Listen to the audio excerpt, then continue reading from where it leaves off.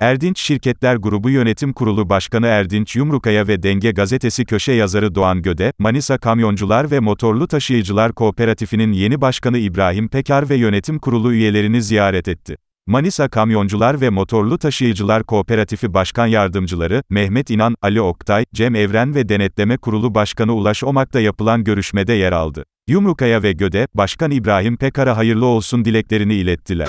Ee, ben televizyon ekibim ve bizim köşe yazarımız Sayın Doğan Göle ile e, Manisa'da hiç kimsenin tahmin edemediği, edemeyeceği kadar büyük olan bir kooperatife geldik.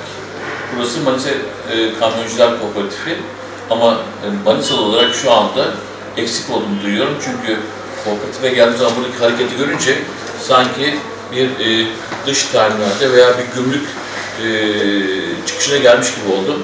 Tırlar geliyor, tırlar gidiyor, hareketli bir yer ve kooperatif başkanı bizi davet etti.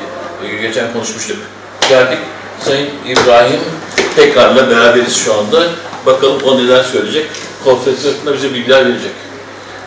Teşekkür ederim. Öncelikle e, bizim bu ziyaretinizden dolayı sonsuz e, mutlu oldum. Teşekkür ederim ziyaretinizden dolayı. E, Manisa Taşıyıcılar Kooperatifi 1970 yılında kurulmuş ve e, Türkiye genelinde çok güçlü bir kooperatif olarak nam salmıştır.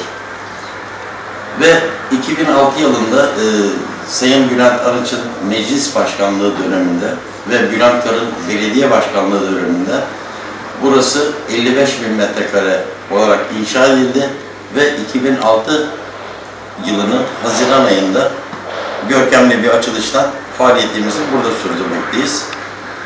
Bu konularla ilgili tabii ki başta devlet büyüklerimiz olarak Sayın Bülent Arınç ve Bülent Kara bize sunmuş oldukları bu tesis için kendilerine sonsuz teşekkürlerimi ve şükranlarımı arz ediyorum.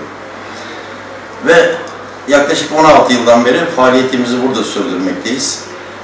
Sürdürmüş olduğumuz bu faaliyetin içerisinde uluslararası şirketimizde faal olmak kaydıyla yaklaşık 600 tane tır ve kamyonla Türkiye sattığına ve Avrupa, Avrupa'ya araçlarımız gidip gelmektedir.